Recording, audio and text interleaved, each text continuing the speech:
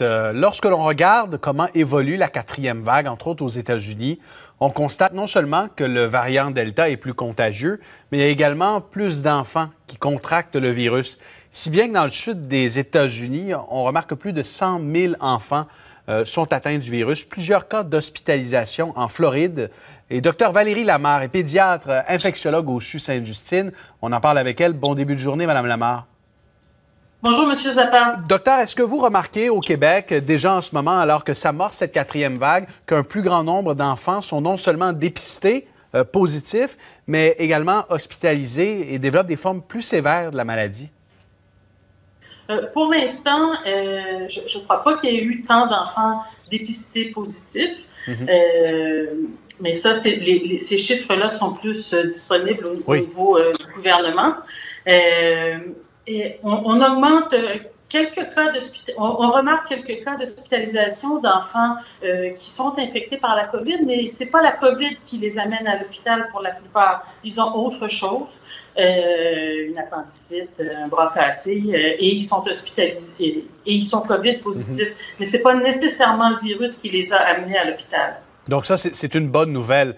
Maintenant, avec la rentrée, est-ce qu'il y a certaines appréhensions, appréhensions dans euh, le domaine pédiatrique. Euh, est-ce qu'on se dit, bon, avec la quatrième vague, le variant Delta, la rentrée, il y a là un, cocktail qui n'est pas nécessairement encourageant? Bon, euh, il y a quand même une, situation qui est pas qui, est encourageante sur plusieurs niveaux. Là, on a des gens qui sont vaccinés, des parents qui sont mm-hmm. vaccinés, des professeurs qui sont vaccinés. donc, on n'est quand même pas dans une si mauvaise position. C'est certain qu'il faut se préparer parce que y a nos petits, euh, les enfants du primaire ne sont pas vaccinés.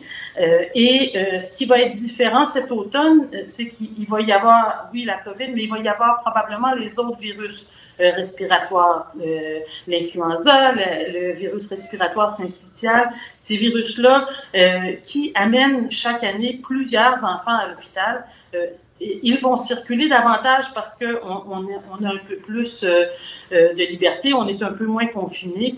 Euh, donc, il va avoir un petit cocktail qui va faire en sorte que ça, ça risque d'être occupé, mais je persiste à, à, penser que la COVID n'est pas une maladie qui rend les enfants très malades et qu'il ne faut pas s'inquiéter outre mesure, il faut juste se préparer.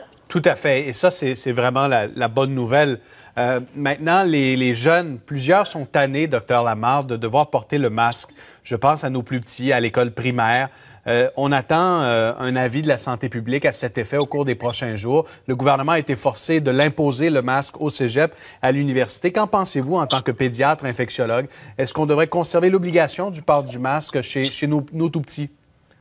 Bon, on est tous tannés de porter le masque mais encore plus que tanné de le porter, on est tanné d'interagir avec des gens qui portent le masque. Hein. Donc ça, euh, je, comprends ça. Surtout en euh, milieu scolaire, dans, un milieu d'apprentissage et de communication. E, e, exactement. Donc, euh, pour les plus grands, ben, je pense que ça, c'est plus difficile de, de ne pas l'imposer. Ils ont, ils ont dû le remettre en place. Pour les plus petits, oui, ce serait plus sécuritaire du point de vue maladie infectieuse de les avoir qui portent un masque, mais c'est difficile d'apprendre dans les interactions sociales, euh, de, lire l'expression de l'autre, euh, quand on apprend à... Euh, j'ai dit quelque chose, comment l'autre en face de moi réagit à ça.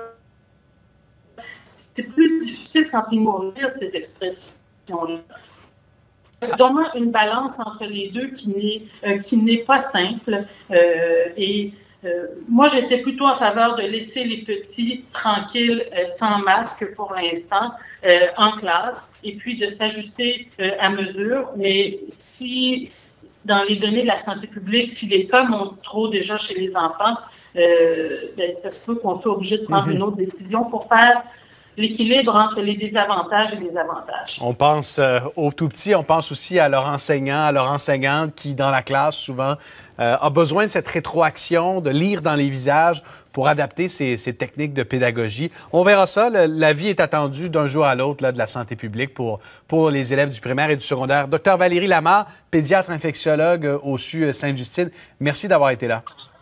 Merci, M. Zappa. Au revoir.